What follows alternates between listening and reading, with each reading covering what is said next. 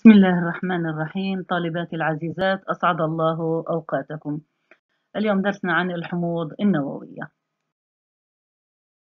عرفنا سابقا في العاشر أخذت في العاشر أنواع الحموض النووية. طبعا عندي نوعين من الحموض النووية وهي ال DNA وال RNA كمان حاملات الطاقة عندي ADP TP بتتكون من نيوكليوتيدات. يعني ال DNA وال RNA بتكون من نيوكليوتيدات وال ADP وال ATP بتكون من نيوكليوتيدات.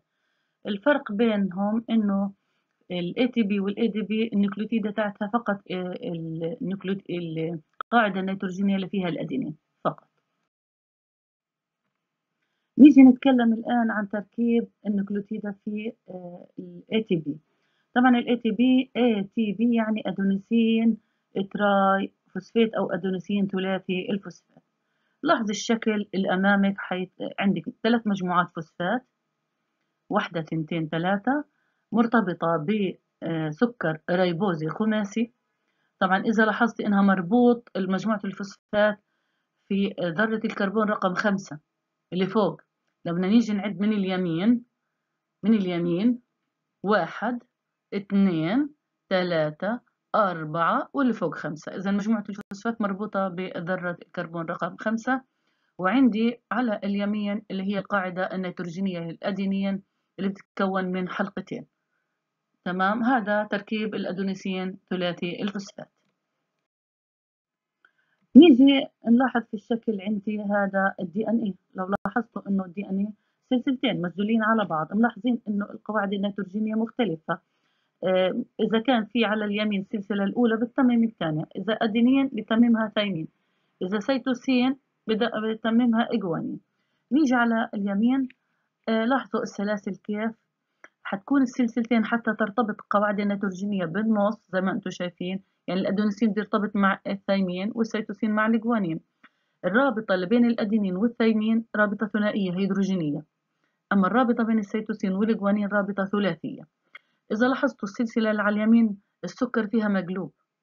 لأنه لو ما قلبنا عملناهم التنتين بنفس الاتجاه مش حيرتبطوا القواعد مع بعض. هتلاقي السكر القاعدة الأولى عكس الثانية. آه، إحنا في توجيه هتاخدوها بتكون واحدة منهم اللي على اليمين اتجاهها خمسة ثلاثة والثانية ثلاثة خمسة وهذا تعرف عليه السنة اللي جاية.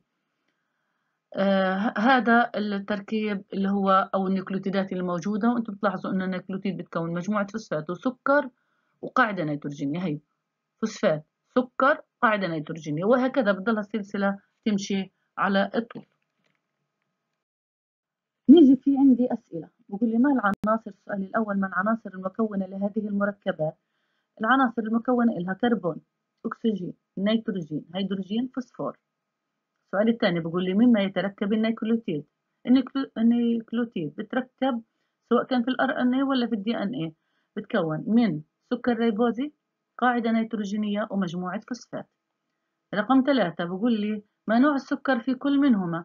طبعا في ال DNA السكر ريبوزي وفي ال RNA ريبوزي بس في ال DNA سكر ريبوزي منزوع الأكسجين.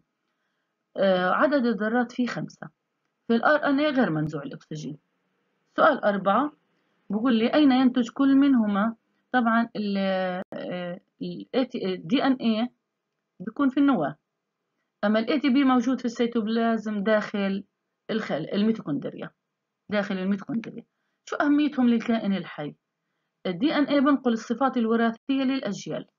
أما ال ATP تزويد الخلية بالطاقة اللازمة للقيام بالعمليات الحيوية.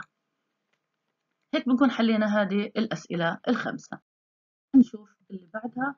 بقول لي تعمل حاملات الطاقة حاملات الطاقة اللي إحنا حكينا ATP أو ADP ATP أو بي كلها حاملات طاقة أي تحمل طاقة. يعني إذا فككناها بنحصل على طاقة. طب شو فايدة هذه الطاقة؟ تعمل هذه آه، على تزويد الخلايا بحاجتها من الطاقة للقيام بالعمليات الحيوية المختلفة. زي إيش عمليات حيوية؟ يعني بدها تبنى مركبات بدها تنتقل مواد حركة الأعضاء. مثلا ممكن آه، آه، يعني بعض المركبات وكل المركبات. إذا إحنا حكينا اللي تتم داخل الخلايا محتاجة إلى طاقة. حركة كمان الكروموسومات الخيوط المغزلية.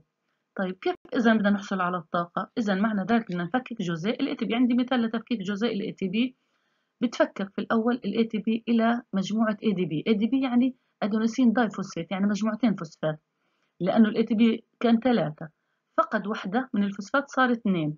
طب وفي المقابل بيطلع لي كمان طاقة مقدارها سبعة وثلاثة من عشرة كيلو كالوري لكل مول. طب ممكن يرجع أنتم ملاحظين إن السهم في مرة على اليمين ومرة على اليسار. إذا معنى ذلك ممكن أستخدم الطاقة في ربط ال Pi الفوسفات مع ال ADP عشان يرجع يتكون لل ATP مرة أخرى. طب ال ADP اللي طلع ممكن أفككه كمان مرة؟ آه ممكن يتفكك. بنقول ADP بتفكك إلى اي ام بي اي ام بي يعني adenosine monophosphate يعني أحادي الفوسفات وأيضا بتطلع مجموعة فوسفات وطاقة مقدارها سبعة وثلاثة من عشرة كيلو كالوري لكل مول. هيك هذا بفككها بمرحلتين. ممكن أفككها بمرحلة واحدة لو أنا بدي أعملها بدي أقول ATP بدي يتحول إلى AMP إذا بدي يطلع لي مجموعتين فوسفات اللي طلعوا هدول وأجمع الطاقة اللي هي سبعة وثلاثة من عشرة سبعة وثلاثة من عشرة بيطلعوا أربعة عشر وستة من عشرة. هذا لو بدك تعمليه مرة واحدة.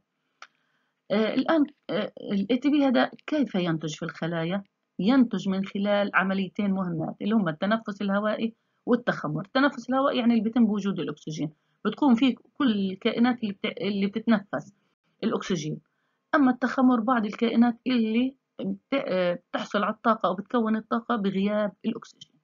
هيك بنكون خلصنا هذا الجزئية وهي بسيطة ومش كبيرة وإن شاء الله بتكون استوعبتوها وفهمتوها وإلى لقاء مرة أخرى.